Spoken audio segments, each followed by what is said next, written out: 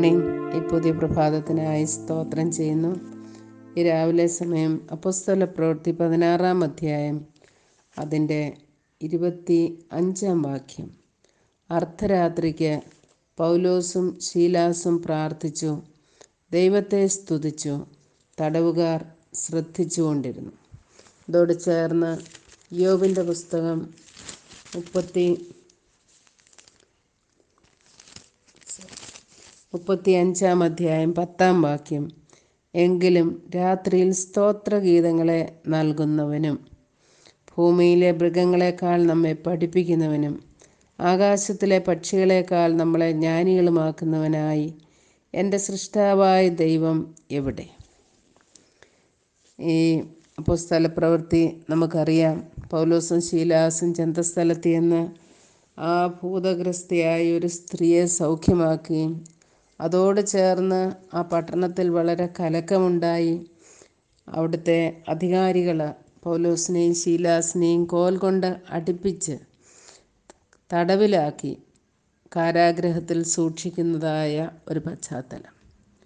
അടികൊണ്ട് വേദന സഹിച്ച് കാരാഗ്രഹത്തിൽ കിടക്കുന്ന പൗലോസും ശീലാസും നമ്മെ വായിച്ച വാക്യത്തിൽ വായിക്കുന്നത് പോലെ അർദ്ധരാത്രിക്ക് അവർ പ്രാർത്ഥിച്ചു. ദൈവത്തെ സ്തുതിച്ചു. അത് മറ്റുള്ളവർ ശ്രദ്ധിച്ചു. അത് നിമിത്തമായിട്ട് അവിടെ ചില കാര്യങ്ങൾ നടക്കുന്നതാണ്. എന്നെ വളരെ ചിന്തിപ്പിച്ചത് ഈ പൗലോസിനും ശീലാസിനും ഈ സമയത്ത് ഇങ്ങനെ പ്രവർത്തിപ്പാൻ പാടുവാൻ സ്തുതിക്കുവാൻ കഴിഞ്ഞതെങ്ങനെ? അവരെ പൊതുസ്ഥലത്ത് ദൈവവചനം പറഞ്ഞതിന്റെ പേരിലാണ് തടവിലാക്കപ്പെട്ടത്. അതിനുശേഷമായിട്ട് അവരെ വളരെ ഉപദ്രവിച്ച് ശാരീരികമായും മാനസികമായും വളരെയധികം പീഡയിലൂടെ കടന്നുപോയ അവർ ആ രാത്രിയിൽ അർദ്ധരാത്രിയിൽ എഴുന്നേറ്റ് ദൈവത്തോട് പ്രാർത്ഥിക്കുന്നു പാടുന്നു ദൈവത്തെ സ്തുതിക്കുന്നു. ഒരു പക്ഷെങ്കിൽ അവർക്ക് ഇത് മൗനമായിട്ടങ്ങ് ചെയ്യാമായിരുന്നു. അവരുടെ ഹൃദയത്തിൽ നിന്ന് നിറഞ്ഞു കവിയുന്നത് ദൈവസന്നിധിയിൽ അർപ്പിച്ച് മറ്റുള്ളവർ കേൾക്കണ്ട കാരണം അവർ കേട്ടാൽ പിന്നെയും പ്രതിസന്ധിയാകുമോ എന്നുള്ള വിചാരത്തിൽ അമൗനമായിരുന്ന മൗനമായിരുന്ന ദൈവത്തെ സ്തുതിക്കുകയും ദൈവത്തോട് പ്രാർത്ഥിക്കുകയും ഒക്കെ ചെയ്യാമായിരുന്നു. എന്നാൽ ചുറ്റുമുള്ള തടവുകാർ കേൾക്കത്തക്കവണ്ണം അവരുച്ചത്തിൽ ഉറക്കെ ദൈവത്തെ സ്തുതിക്കുന്നു. ദൈവത്തോട് പ്രാർത്ഥിക്കുന്നു. ദൈവത്തെ ആരാധിക്കുന്നു.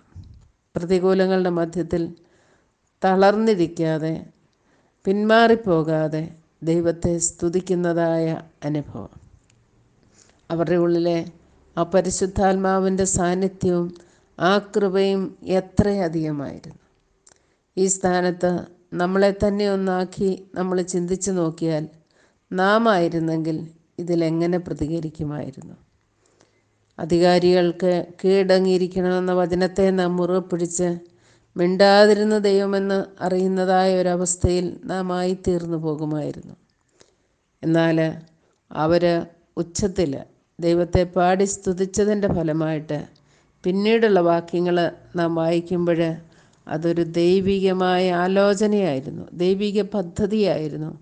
ആ കാരാഗ്രഹത്തിലുള്ളവർ മുഴുവനും കർത്താവിൽ കൊണ്ടുവന്ന് കർത്താവിലേക്ക് കൊണ്ടുവരുവാൻ അതൊരു മുഖാന്തരമായി തീർന്നു അതിന്റെ മുപ്പത്തി ഒന്നാം വാക്യം വായിക്കുമ്പോൾ മുപ്പത് മുപ്പതാം വാക്യം വായിക്കുമ്പോൾ ആ കാരാഗ്രഹ പ്രമാണി ഓടി വന്നിട്ട് അവരോട് ചോദിക്കുകയാണ് യജമാനന്മാരെ രക്ഷ പ്രാപിക്കുവാൻ ഞാൻ എന്ത് ചെയ്യണം?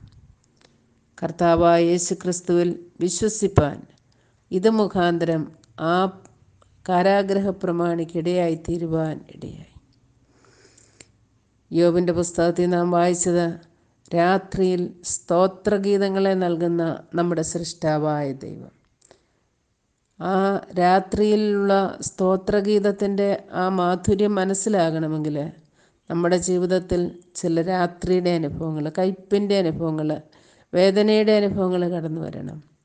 ആ അനുഭവത്തിൽ നാം ദൈവത്തെ പാടി സ്തുതിക്കുമ്പോൾ നമ്മുടെ ചുറ്റുമുള്ളവർക്ക് അതൊരു സാക്ഷ്യമായി തീരും ദൈവം നമ്മിൽ നിന്നും അത് ആഗ്രഹിക്കുന്നു. മറ്റുള്ളവരെ ക്രിസ്തുവിലേക്ക് നേടേണ്ടതിന് നമ്മെ ഇരുട്ടിന്റെ അനുഭവത്തിലൂടെ അർദ്ധരാത്രിയുടെ അനുഭവത്തിലൂടെ കടത്തിവിടുമ്പോൾ ആ സ്ഥാനത്ത് ദൈവകൃപയിൽ ആശ്രയിച്ച് ദൈവത്തിന് നന്ദി കരയറ്റുവാൻ ദൈവത്തെ പാടി സ്തുതിക്കുവാൻ. ആ നാൽപ്പതാം സങ്കീർത്തനത്തിലാണെന്ന് തോന്നുന്നു എന്റെ വായിലെ ഹുവ പുതിയ പാട്ട് തന്നു. നമ്മുടെ ദൈവത്തിന് സ്തുതി തന്നെ. പലരും അത് കേട്ട് ഭയപ്പെട്ട് യഹോവയിൽ ആശ്രയിക്കുമെന്ന് പറയുന്നു. അതാം ദൈവത്തെ സ്തുതിക്കുമ്പോൾ ചുറ്റുമുള്ളവർക്കൊരു വെല്ലുവിളിയായി തീരുവാൻ ദൈവത്തിന്റെ പരിശുദ്ധാത്മാവ് മുഖാന്തരം ഇടയാക്കട്ടെ. ദൈവതിരുനാമം മഹത്വപ്പെടട്ടെ. God bless you